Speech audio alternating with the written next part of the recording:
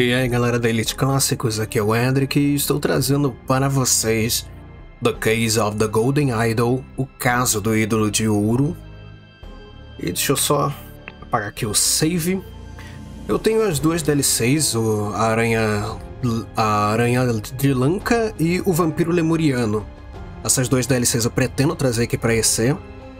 E eu quero mostrar essa versão, porque no dia que eu tô gravando saiu ah, finalmente o que eu tava esperando, que era a versão refeita, vamos dizer assim, uma versão mais otimizada, melhorada e traduzida de The Case of the Golden Idol, o caso do ídolo de ouro.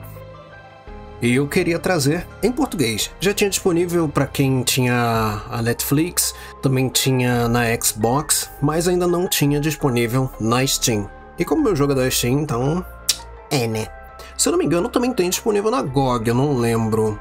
Mas, bom, fica aí essa curiosidade. E por que, que eu tô nessa versão em inglês então? Porque muita coisa mudou. Então eu quero mostrar como é que era antes e mostrar como que ficou atualmente. Como você quer jogar? Experiência recomendada, com os highlights, que são esses brilhinhos selecionados, selecione essa opção se você não gosta de ficar caçando pixel. Ou então, sem os highlights ativados, selecione isso caso você não se importe de ficar clicando em tudo quanto é lugar por conta própria. Vamos então ativar os highlights e prólogo, um término abrupto de contrato. E temos aqui o caso que temos que investigar. Tem aqui 8, 11, na verdade, 11 pistas que podemos encontrar. Aqui pode organizar em ordem alfabética e aqui, é caso tenha alguma dúvida, ele ensina tudo para você. Então, eu já vou fazer uma coisa aqui. Isso e isso daqui. Perfeito. Por que, que eu fiz isso? Porque estamos na aba de exploração. Mas se eu vier aqui na aba de pensamento, vai abrir isso aqui tudo. Por que, que eu fiz? Para mostrar as três de uma vez. Temos aqui nesse primeiro o que é obrigatório, que é para concluir esse cenário, que é descobrir o que, que aconteceu. Quem fez o que com quem e aonde, nesse caso aqui. Esse aqui são as pessoas que estão nessa área, que estão nesse local. Nós identificamos esses dois porque são os dois únicos que estão aqui. Aí temos que descobrir o nome de cada um deles. E aqui onde aconteceu. Então a gente tem que escrever aqui de acordo com os locais que tem aqui. E aí, completando, a gente pode prosseguir. Essas primeiras fases eu já sei tudo de cabeça porque eu joguei esse jogo aqui algumas vezes. Mas não significa que eu vou lembrar tudo, eu lembro um pouquinho do começo. Do resto não lembro tanto. Muito bem, sabendo disso, é só isso aqui mesmo que eu queria mostrar, para vocês verem a diferença e como evoluiu. Então agora, o que, que eu vou fazer é mudar para a versão otimizada, como eles chamaram, que é uma versão refeita, e vocês vão ver a diferença e o quão mais bonito ficou.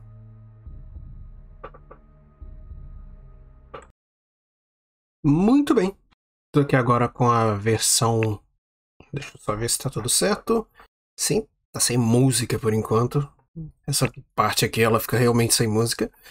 Mas aqui tá a versão remasterizada. Agora sim ficou com música. Não sei porque ele demorou para poder ir. Mas agora aqui o jogo ele tá traduzido em português e também ele está na nova versão. Já dá para ver que tem uma mudança logo aqui no começo o que é bem bacana. Aqui nas configurações, nós temos algumas coisas como importar dados salvos, crédito, mostrar o layout do controle. Eles atualizaram até o controle aqui, ficou até mais bonito assim. Tem como selecionar o idioma, todos os idiomas que tem disponível. E vamos começar o caso do ídolo de ouro. Depois a gente faz a aranha de Lanka e o vampiro lemuriano. Então, vamos para o capítulo 1, Complicações na Família. Prólogo. Um término de contrato abrupto. Como jogar? Estude o ambiente para deduzir o que aconteceu. É possível encontrar informações importantes nos documentos. Junte frases das provas e dos documentos. Clicando, ele vai passar para cá. Ele é um pouquinho mais otimizado para a versão mobile, então vocês vão ver que é bem diferente as coisas comparada como era na outra versão, até porque a outra versão foi feita pensando em computador. Já essa versão aqui, ela foi feita pensando na versão mobile da Netflix e depois eles portaram também para os computadores. Coloque as frases nos espaços corretos nos painéis do pensamento. Aí tem aqui as frases, os painéis de pensamento. Complete o pergaminho para concluir o cenário. Não é obrigatório preencher os painéis adicionais, mas eles ajudarão a resolver o pergaminho principal. Igual no anterior. No anterior também não era necessário cumprir tudo, somente o pergaminho principal. Conselhos: estude o ambiente cuidadosamente pelo tempo que precisar. Concentre-se nas provas adiante, nas provas diante de você. Não precisa chutar, nem mesmo que mesmo que o desafio seja difícil. Você pode acessar dicas se tiver dificuldade. Muito bem, aqui agora já dá para ver um pouquinho de diferente. Aqui a barra ela diminuiu. Agora que eu vi que meu mouse não tá aparecendo, olha só. Que eles tiraram o mouse. Pera aí. Deixa eu fazer uma coisa aqui para o mouse aparecer. Vou colocar aqui nas opções, capturar cursor, excelente. Agora sim meu mouse vai aparecer. Isso, perfeito. Aqui embaixo, como eu já estava falando, tem essa barra que ela diminuiu, eles diminuíram ela. E agora, ao invés de ter aqui aquela parte de pensamento, é aqui. Aqui tem essa parte que é o texto, que é as frases que ficam desse lado. E aqui tem dizendo quantos que fica. Aqui é o pergaminho de preenche, pra gente preencher, pra gente finalizar essa fase. E esse é obrigatório. O resto aqui é opcional. Como dá pra ver, tem outros dois. Esses dois ainda não estão desbloqueados. E no caso, é esse aqui, que é uma identidade das pessoas. E esse outro é aqui. Essa pista foi adicionada para o painel de pensamento. Deixa eu só ver uma coisa aqui. Mostrar layout dos controles. Deixa eu ver se Hum, não, ele não vai me dar essa opção. É. Eu queria tirar esse layout dos controles aparecendo ali. Aqui vamos pegar o nome de tudo. Perfeito. Um bisturi. Vamos pegar já aqui o nome de todo mundo. Dá pra jogar também no... Deixa eu ver como é que fica... Não, eu vejo no próximo vídeo como é que ficaria no controle. Eu não cheguei a jogar no controle. Aqui já completamos, fizemos 11 de 11.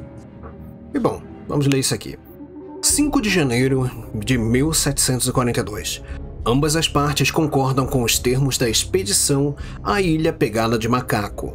Albert Clousley tem direito sobre dois terços dos itens de valor por financiar a expedição. Oberon Geller tem direito a um terço dos itens de valor e todas as estátuas de ouro por fornecer o mapa do local da expedição. O doutor é o Oberon, Oberon Geller e o escudeiro é o Albert Clousley. Clousley. Sei lá como é que fala. Bom, esse aqui ele tem um bisturi. Então acho que já dá para deduzir algumas coisas. Quando fica tudo completo, ele mostra esse sinalzinho. Esqueci de falar. A pista foi adicionada ao painel de pensamento, que é desse daqui. Aqui ele também tem a mesma coisa, como dá pra ver aqui. Precisamos clicar nisso aqui tudo para poder já pegar e dar como concluído. Ele tem um cachimbo e uma adaga. Bom, acho que já é meio óbvio que daqui dá para concluir quem é quem. Como eu já disse, esse primeiro eu sei quem são cada um deles, mas os outros não. Os outros eu não tenho tanta certeza. Tá, Oberon, Geller, e Albert Closley. Identidade não está preenchida corretamente. Hum, e aqui vem a dica. Pode usar até três dicas. Obviamente eu não vou usar as dicas. Aqui vamos inverter para Albert e Closley. Um ou dois espaços estão errados. Cadê? Foi o Closley. Deixa eu colocar aqui de volta. Estão errados. Ele vai aparecer isso daqui quando tiver um ou dois preenchidos errado. Então, na versão antiga, era bem mais difícil que como eram os três juntos, você nunca sabia qual que tava, qual que não tava, apesar de que era tudo dividido certinho, mas ainda assim, era meio chato. Bom, aqui vamos colocar certo. Esse daqui é Albert Cloudley e esse aqui é Oberon Geller. Já que esse aqui, ele tem um bisturi e médicos usam bisturi. É meio que óbvio isso daí, da gente poder já viu e já, puf, teve uma noção. Tá, aqui duas bolsas com moedas e joias, uma bolsinha de tabaco e um limpador de cachimbo. Então já sabemos que esse aqui é do, do Albert Closley e esse aqui é do Oberon Gela. Uma bolsa de instrumentos médicos e alguns remédios. E o ídolo de ouro está aqui. A estátua de ouro com uma pedra vermelha e uma bolsa com moedas e joias. Hum. Vamos ver aqui no contrato quem que tinha direito. Oberon que é o doutor. Ele tem direito a um terço dos itens de valor e todas as estátuas de ouro. Hum. O doutor ele era mais inteligente do que parece. Aqui nós temos duas ilhas. Então, olhando aqui, qual desses que parece ser olhando? Eles acamparam em. Hum. Olhando por aqui, eu diria que. Chifre de dedo? Não, não é de dedo, não, é de dedão. Perfeito. Eles estão aqui no chifre de dedão. Dá pra ver pela ilha. Eu confundo essa Baía de Sombras. Mas eu até hoje não entendi ao certo por que que... que na minha cabeça é diferente. Mas tá bom. Bom, já concluímos. Agora só falta esse daqui. Quem empurrou alguém de um penhasco em algum lugar de tal lugar na ilha pegada de macaco? Tá, então sabemos que Albert Clousley empurrou Oberon Geller. Então vamos colocar aqui. Albert Clousley empurrou Oberon Geller. Mas aonde que ele empurrou? No chifre de dedão. Errado. Qualquer chifre de dedão. Pera. De um penhasco em... Ah, não. Agora que entendi. Hum... Era a Baía das Sombras, não foi? Hum, se eu mudar isso aqui para Baía das Sombras. Hum, não vai. Chifre de dedo. Também não vai. Hum. Ah tá, peraí. Eu inverti isso aqui. Por isso, faz sentido agora. O pergaminho foi preenchido, nenhuma dica foi acessada, porque não precisou. É mais falta de atenção de minha parte. Ele tá sorrindo. Engraçado. Enquanto o Dr. Oberon Geller inspecionava o terrível clima com a luneta, seu companheiro de expedição Albert Closley de repente o empurrou do penhasco. Então, vamos agora voltar para a seleção de cenário. E podemos ir para o segundo cenário. Agora eu vou fazer um corte rapidinho porque eu vou ver como é que funciona a versão de controle, só para ver se eu jogo com controle ou não. Muito bem, eu já consegui colocar aqui o controle. Ele vai mostrar ali o controle de Xbox, mas para mim não tem tanto problema. Eu estou usando o controle de Playstation, mas tudo bem. Vamos para as complicações na família no segundo. A morte prematura de um cavaleiro no campo. Toque para continuar, clique para continuar. tá, aqui eu posso utilizar um mouse e aqui eu posso utilizar... Hum, interessante. Tá, aqui a gente tem um ídolo de ouro. Ele tá ali, a estátua. Vamos ver esse daqui. Um iate flutua lentamente no rio. Hum. Um cavalo está galopando no pátio. Tá, é 23 de agosto. Interessante. Vamos ver aqui. Esta pista foi adicionada ao painel de pensamento. Hum. Parece. É uma roupa, não parece? É uma roupa. Henry Clover Envenenamento por chumbo. Hum. Vou pegar esse aqui também. Vamos ver esse daqui. Tá. Combustão espontânea. Ah, não é muito bom o controle. Tem que ficar colocando assim, mas tá bom. Eu me acostumo. Combustão espontânea eu, Sebastian comp compartilharei minha humilde contribuição à ciência e à ana da anatomia e à química. Tá, vamos primeiro pegar tudo isso daqui. Cadê? Aqui. Pegar esse, pronto. Agora dá pra ver melhor. 22 de agosto de 1786. Meio-dia. Acordei. Um belo dia. Deixa o mouse quietinho. Meio-dia e meia, tomei um banho e vesti meu traje de jantar. Jantar? Ele vestiu o traje de jantar de manhã. Tá bom. De tarde. Tá bom, vamos continuar. Duas da tarde, comi um belo pato assado no almoço. Seis da tarde, quatro da tarde, troquei-me para o meu traje de caça. Cinco da tarde, cavalguei em busca de texugos. Não tive sorte hoje e voltei para casa. Seis da tarde, troquei-me para o meu traje de pesquisa. Sete da tarde, troquei-me para o meu traje de jantar. Oito da noite, comi um bife suculento no jantar. Dez e meia da noite, escrevi no meu diário e fui para a cama para continuar a ler para minha pesquisa. Excelente. Pesquisa da combustão espontânea. Isso que ele estava pesquisando. Uma escada alta e frágil. Aqui já vimos. Hum. Blackfield, Crawl Tower e Wood Shrine. Perfeito. Deixa eu pegar esse daqui. Hum, interessante. E tem essa última aqui. O que temos aqui? Um anel de rubi. O homem não está respirando, a cabeça dele está ferida gravemente. Bom, já que temos isso aqui, vamos já começar aqui. Aqui é bem fácil.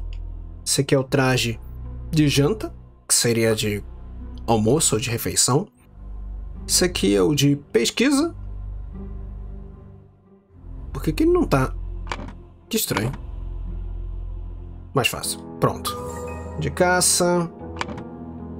Identidade preenchida. Isso aqui é fácil saber quem é quem.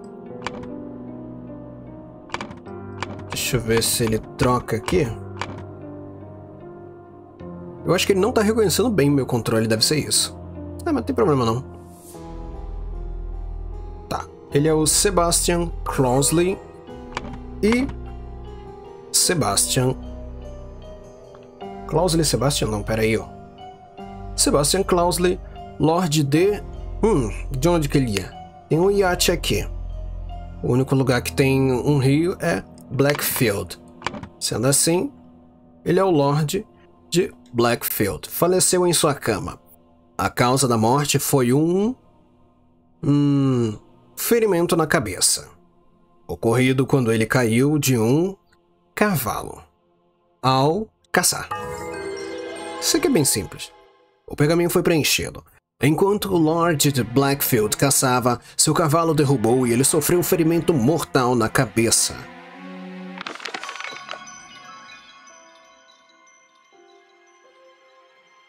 Sebastian Clousley, 1733 a 1786. Perfeito. Temos agora aqui o terceiro. Terceiro. Capítulo não. Terceiro episódio, vou chamar assim. Mais fácil. Complicações da família é o primeiro capítulo e o subtítulo do terceiro episódio é. A partida dramática de um forasteiro. Hum. Vamos ver aqui. Poupe-me, demônio! Eu só estava cumprindo ordens! Homem macaco impressionante. Impressionante propriedade dos irmãos Peer. Uma faca. Hum, o que, que temos aqui? Temos um dragão. Me lembrou Fumeto Alquimista, não sei porquê. Que chamas! Grande corrida de jockey, clube de agosto. Corrida, 3, vitória. Ragging Sultan, lugar, show, aposta, 35 libras. Hum. Hum, um, uma rumo inesperado de eventos. Seria um rumo inesperado de eventos, mas tá bom, né? Eu não vou exigir muito da tradução. Eles devem ter traduzido. Eu não sei se eles retraduziram ou o quê. Talvez seja só um erro que passou despercebendo. Um lenço bordado, Vamos pegar aqui já as coisas. Caro Edmund, chegou o meu conhecimento que você está procurando um novo criado habilidoso. Eu tenho um homem certo para você. David Gohan é um cocheiro. É um cocheiro experiente com talentos diversos que tenho certeza de que você acha, achará muito útil. Se não estiver satisfeito com os serviços dele, não hesite em me avisar. Atenciosamente, Tel. Hum. 3 libras e 3 zelens. Uma lâmina de estilete. Gazeta. Eu não consigo ir pro do lado. Que coisa. Deve não estar tá reconhecendo meu direito, meu controle. Gazeta Londrina. Segunda-feira, 7 de setembro de 1786. O discurso do Lord, do Lord Edmund Clousley. Deixa eu só colocar meu controle aqui. Vou usar o mouse por enquanto, melhor. Olha, tem dois mouses aqui. tá, vamos lá. O discurso de Lord Edmund Clousley agita o parlamento. Perfeito. Deixa eu colocar esse mouse pra cá. Tá, vamos ver aqui. Esse. Tá, ele tá queimando uma escova de cavalo queimada e uma faca que tem um J. Esse aqui ele tinha um A. Tá. Então, AJ. Quem é esse aqui? Hum, interessante. Ash Blair, Fenester Tabaco. Uma algibeira, uma algibeira de tabaco com rótulo. O melhor tabaco Ash Blair. Prepare minha carruagem para amanhã. Visitaremos meu sobrinho, SC. Então esse aqui é o cocheiro. Hum, tá bom, é o dinheiro, um alforge e uma adaga. Qual era o nome que tava aqui? Homem certo, David Gohan. Ou seja, sabemos que esse daqui é David Gohan. E esse aqui é o Edmund Closley. Esse daqui. Hum. Tá, pelo que tava aqui, propriedade dos irmãos Peer. Como tem um A e esse aqui tem um J, vou presumir que esse aqui que eles são os irmãos Peer. Tá, faltam ainda três personagens e esse aqui ainda não foi descoberto. O que, que temos aqui? Rota estável para Adam e James. Asseios de cavalo. Limpeza do estábulo. Tá, segunda a quarta o James vai fazer o asseio do cavalo e o Adam faz a limpeza do estábulo e de quinta a sábado inverte. E façam isso direito, seus idiotas preguiçosos. Hum. A. J. Hum. Será? Eu vou deixar isso em mente por enquanto. Vou deixar anotado. Hum. A. J. Adam e James. Vou deixar isso anotado por enquanto. Pode ser útil.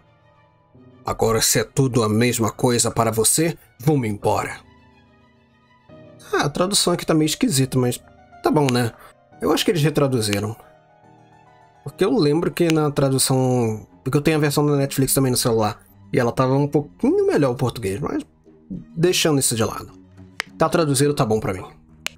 Combustão espontânea. Para fazer o truque de combustão, primeiro se deve lançar um feitiço de congelamento. Os glifos sagrados para combustão no ídolo. Hum. Então, ele usou a combustão espontânea usando o feitiço de congelamento. Interessante. Tá, vamos ver aqui. O que, que temos aqui? Fat Lord. Peer Twins. Pichação com as palavras Lorde Gordo e Gêmeos Peer. Ou seja, esses são os irmãos Peer, Adam e James Peer. Perfeito. Já temos eles. Vamos ver aqui agora. Batley, Closley e Cumbert. Hum. Tá, esse dragãozinho que eu já vi em algum lugar. Onde foi que eu vi? Hum. Tá, então essa daqui é a casa dos Batley. Perfeito, bom saber. Minhas desculpas, às vezes ele pode ser tão cruel. Seis anéis com diversas pedras, quatro libras, uma lâmina catar adornada, um leque, Shamalbat, Hashamal Eu não lembro se na versão. Eu não lembro se esse aqui ele tava assim também na versão original. Advogado Nicholas Maker. Tá, então presumo que esse aqui seja Nicholas Maker. Já colocar aqui Nicholas Maker. Hum, não esperava que alguém de sua família tratasse um documento legal de tal modo. Que assombroso. Hum, então algo aconteceu com um documento de família e ela estava pedindo desculpas. Uh, isso aqui é interessante. Leitura do Último Testamento de Sebastian Cloustley, aquele que vimos no episódio anterior desse primeiro capítulo. 7 de setembro de 1786. Albert Cloustley era casado com Mary Cloustley. Ambos estão falecidos. Interessante. Albert Cloustley, ele era aquele que apareceu no primeiro. Se eu não me engano. É, foi o que apareceu no primeiro capítulo. Tá, temos aqui o Edmund Cloustley, ele é o primogênito. Temos esse Willard Wright, que aparentados. Hum, quatro herdeiros todos presentes. Então esses daqui são os herdeiros. Interessante. Rose Cumbert, ela é casada. Perfeito. Então Rose Cumbert, ela é casada. E todos eles aqui são irmãos. Então Edmund Clousley, que é aquele que estava lá fora, que estava com o EC no nome. Ele é o primogênito. A Rose Cumbert que eu vou chutar que seja essa daqui. Cadê? Cumbert. Cadê a Rose? Rose. Rose Cumbert. Perfeito. Sebastian Cloustley, o lá do segundo episódio, do episódio anterior a esse aqui, que ele é o testador, ou seja, o que faleceu. E Beatriz Batley, que ela também faleceu, e ela é casada com Peter Batley. Hum, Peter Bentley. Tá, temos quatro pessoas aqui. E temos duas pessoas que ainda não sabemos quem são. Por enquanto vamos deixar assim. Vamos ver esse aqui agora. Aforismos de Sebastian Cloustley. Foi tudo? Foi.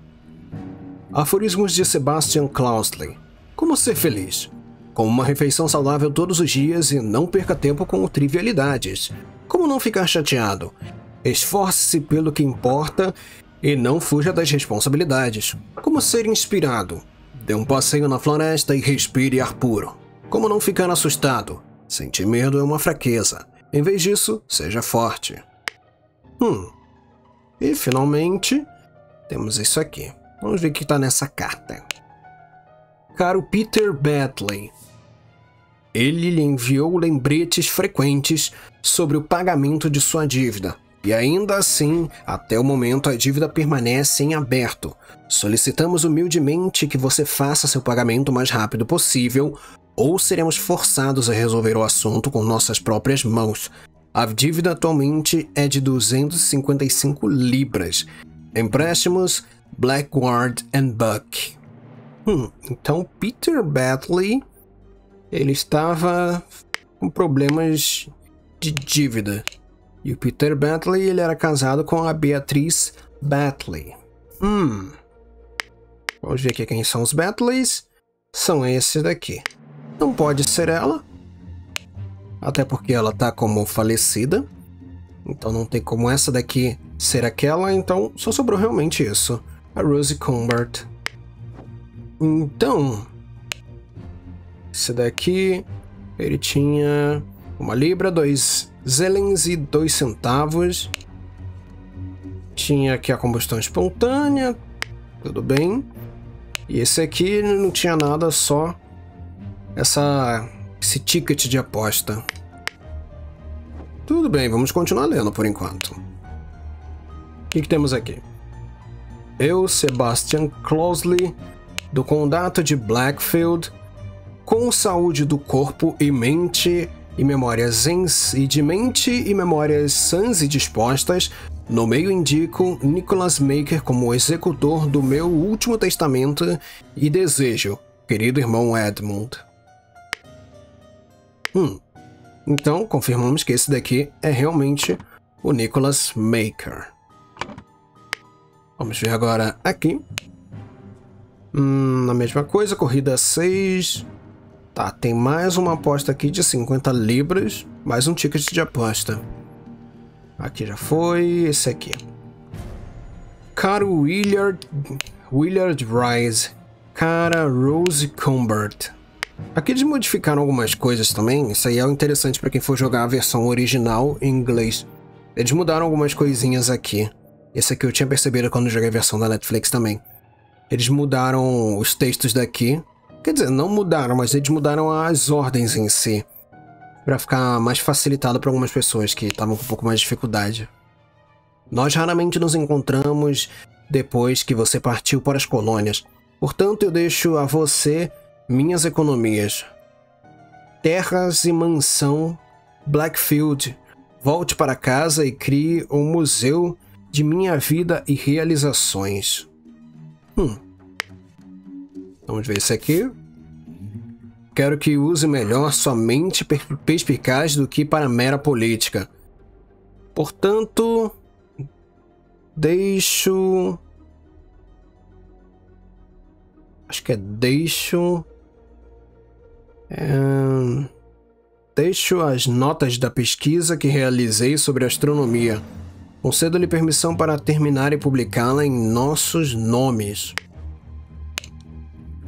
Deixo para você o ídolo dourado de Zenópolis. Você saberá o que fazer com ele. Então, quem ficou com o ídolo lá é quem. aquele que está com o ídolo. Minha falecida irmã, sua mãe, contou-me sobre seus problemas financeiros há muito tempo e resolvi ajudá-lo. Deixo-lhe uma compa. uma compara, compensação de meus aforismos para lhe dar direção na vida, o que claramente lhe falta. Então por isso que tinha aqui esses aforismos, que é praticamente aforismo é um livro de conselho, basicamente. Bom, temos aqui tudo completo já. Podemos começar a fazer isso aqui. Nós raramente nos encontramos depois que partiu para as colônias, portanto, eu deixo a você minhas economias, terras e mansão Blackfield. Volto para casa, crio um museu, minha vida e realizações. Hum, deixo para você o, o, ídolo dourado de Zenópolis, saberá o que fazer com ele. Tá, minha irmã falecida, sua mãe, contou-me sobre os seus problemas financeiros. Então a irmã falecida. Não, não é esse aqui não, é nesse aqui. A irmã falecida é Beatriz, Beatriz, Beatriz Batley e ela é casada com Peter Batley. Então, se ela tava com problemas financeiros. É, esse. É, faz sentido. Ah, falando nisso, eu nem cheguei a explicar sobre isso daqui. Na versão original também tinha, era só usar o mouse para dar o zoom e tirar. Aqui dá para fazer clicando nesse nessa luneta aqui. Dá para dar um zoom para ver melhor caso você veja que tem alguma coisa escondida ou pequena demais, dá para dar um zoom para melhorar. Tá, então. Hum, deixa eu uma compilação. Isso aqui provavelmente é do. Do Closley. Closley não, do. Deixa eu ver qual era o nome aqui. Peter Batley. Cadê o Peter? Aqui. Peter Batley Hum, então, posso chutar que este cidadão é Peter. Cadê o outro? Closley Batley. Perfeito. O que sobrou? Na outra versão, ele tirava tudo de uma vez, o que era melhor para mim. Uh, vamos ver. Aqui. Uh, Pierre. Pera, eu coloquei Pierre duas vezes aqui. Adam Pierre. James Peer, Edmund, Edmund Closley, Gohan é o David Gohan. Hum, não, pera. Peer, James Peer, Peter Batley. Hum. O único que não foi mencionado foi Willard Wright. Excelente. Então já sabemos quem é todo mundo. Tá, então esse aqui do ídolo já dá para ser resolvido. Que é do Willard Wright. Quero que use melhor somente pescados para quimera política. Deixo-lhe as notas da pesquisa que realizei sobre astronomia. Concedo-lhe permissão para terminar e publicar em nossos nomes. Hum. Vamos ver quem é que tem. Esse aqui é o Willard. Então ele tem o no nome. Ele tem o ídolo, na verdade. Esse daqui. Hum, tá, esse aqui é um jornal. Chegou meu conhecimento que você está procurando um novo criado, habilidoso. Hum, não. Tá, Gazeta Londrina. Hum.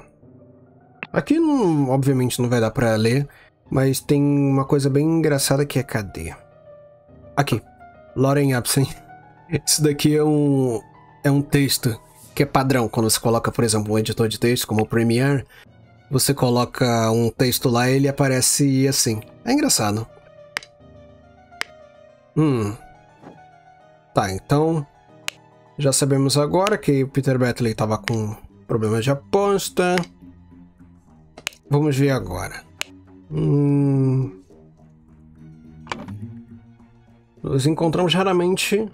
Nós raramente nos encontramos depois que você partiu para as colônias. Portanto, deixa você minhas economias, terras e mansão Blackfield. Volte para, para casa e crie um museu de minha vida e realizações. Hum, quem que poderia ser? Deixa eu ver a Rose. Hum. Parece muito ser. Hum, parece ser alguma coisa como se fosse Índia. Hum, então eu vou chutar que essa daqui seja a Rose. Era Rose, o que é o nome dela? Rose Combert. Então a Rose, cadê o Combert? Que eu não acho aqui. No. Rose Combert. O que sobra, William, foi o Edmund. Então, Edmund. Não. Rose aqui. Edmund Closely. Perfeito, concluído. Então concluímos que alguém ficou alguma coisa ao receber alguma coisa no testamento de Aqui já dá para saber que é o. Cadê o Sebastian? Clausley? É o Sebastian Clausley. Deixa eu só ver se é mesmo. Sim. Sebastian Clausley. Sou péssimo com memória. E ordenou que. Hum, tomassem. Tá. Aqui é o Adam Peer e o James Peer tomassem o ídolo do Willard Wright, que era ele que estava com o ídolo. De repente, morreu por. Foi o James? Não, é, foi o James. De repente, James Peer morreu por combustão espontânea. Tá, ficou receber. Vamos ver as opções aqui: aforismo chateado, feliz, inspirado, assustado. O único que ficou chateado foi de receber os aforismos, que foi o. Foi Peter Batley? Sim, Peter Batley. Então, Peter. Cadê Peter? Peter Batley. Perfeito, concluído com sucesso. O pergaminho foi preenchido. Peter Batley, afogado em dívidas de jogo, depositou grandes esperanças no testamento do tio. Ao descobrir que não havia herdado nada além de um livro de aforismos, ele rasgou o testamento e ordenou a seus criados que tomassem a estátua de ouro do estranho Willard. De repente, um dos servos pegou fogo. Excelente. Agora podemos partir para o segundo capítulo: A Herança Amaldiçoada. Porém, isso faremos no próximo vídeo. Então, muito obrigado a vocês que assistiram até aqui. Lembrando que meu canal principal tá aí na descrição do vídeo caso vocês queiram conferir. Lembrando também que eu tô trazendo esse projeto, eu também vou trazer mais um outro, porque eu fiquei um tempo parado aqui na EC. Para quem não acompanha o meu canal principal, eu tive uns problemas que eu quebrei a mão e por isso eu tô jogando jogos um pouquinho mais simples e jogos um pouquinho mais complicados, até mesmo como Final Fantasy, tá um pouquinho mais difícil de gravar. Eu até consigo gravar uma dificuldade, mas tá bem complicado, então eu vou trazendo esses joguinhos mais simples e conforme eu for conseguindo trazer os outros jogos, aí eu vou trazendo aqui pro canal. É isso, muito obrigado a vocês que assistiram até aqui e a gente continua no próximo vídeo aqui no canal.